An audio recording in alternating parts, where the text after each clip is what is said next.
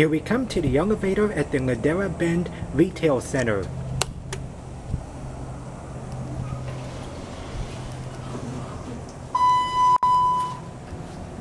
Go to 2.